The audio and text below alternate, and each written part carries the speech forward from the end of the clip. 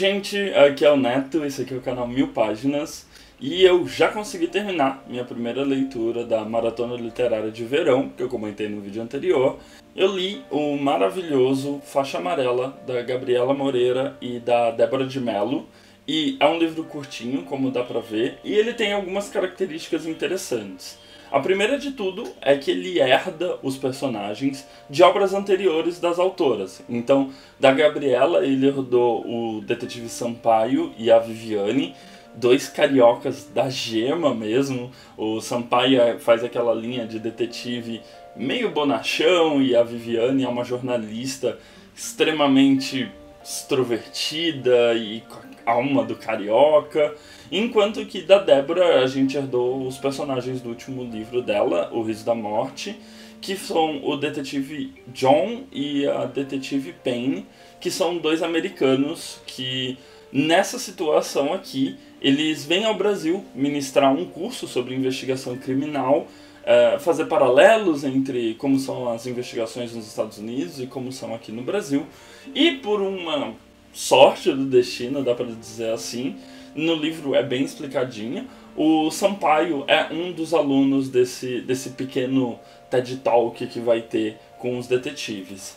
O que acontece é o seguinte: como ele já vem de outras obras, a gente tem é, pequenas situações em que eles comentam algumas coisas. Então, o próprio motivo do detetive John e da investigadora Payne virem para o Brasil é por conta da investigação do livro anterior da Débora, em que eles conseguem um certo renome por conta dessa investigação.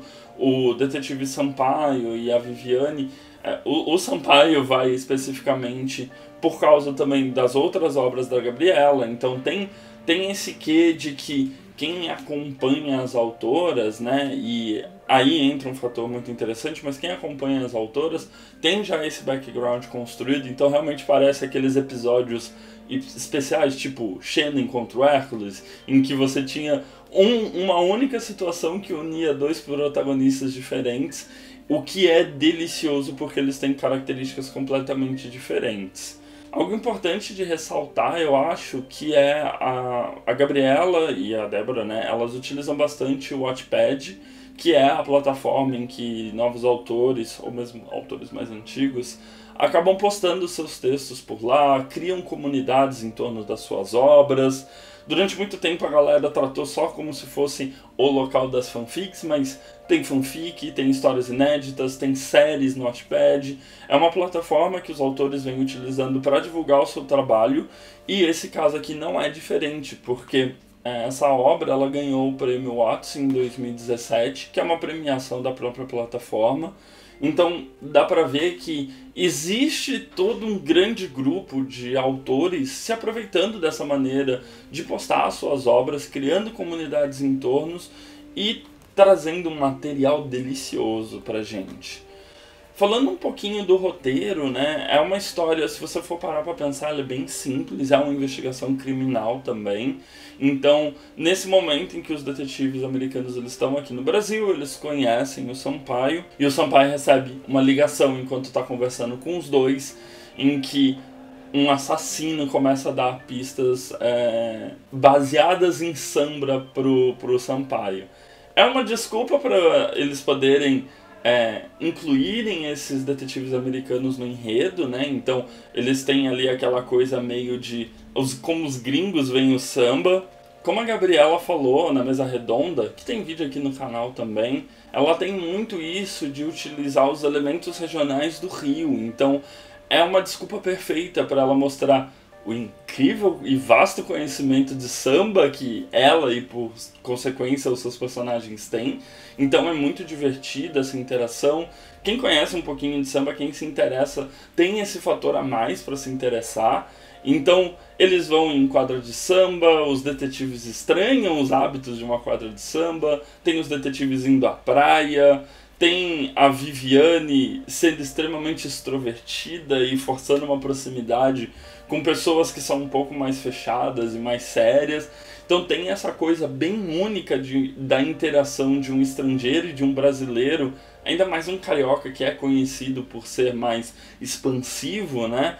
Então tem essa, essa coisa gostosa de acompanhar. esse fator de interação entre os, as duas duplas é, foi o fator que mais me prendeu na leitura, até mais do que a investigação, apesar de eu achar é, uma motivação interessante.